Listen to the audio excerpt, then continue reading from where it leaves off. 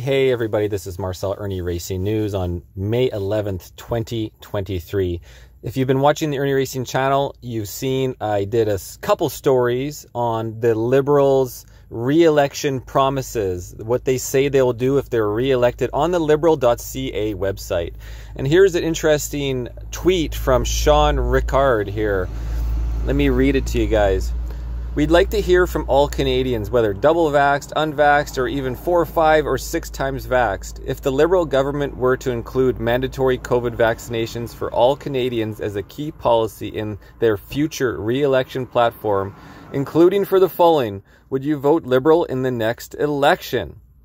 And um, I voted no, and we have a 98%, 2% yes, 1% unsure. Just for the people that missed the story yesterday, the specifics quoted from the website require travelers on interprovincial trains, commercial flights, cruise ships, and other federally regulated vessels be vaccinated. Now, I would assume that includes city transit as well and bus systems.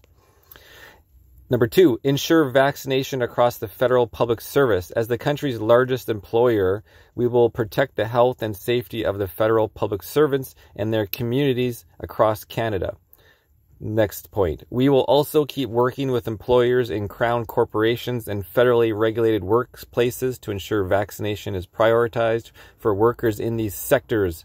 And again, click the, he's got a link here, which is wonderful, just like my story. And uh, here you are, liberal.ca forward slash our uh, dash platform dash mandatory vaccinations. And uh, here you have the re-elected liberal government. Now that it's still on the website. They haven't removed it since everybody's been making a big deal about it. Um, also, if you click menu and you just go our platform, I don't know if I have my um, pop-ups blocked, but if you click on, there you go if you just click on the the mask and then it has more finishing the fight against COVID-19. Man, see, it's this is this is finishing the fight. This is like after the fact. This is definitely updated in May for the LibCon, the Liberal Convention they had last weekend. Mandatory vaccines on planes, trains, and in federal public service.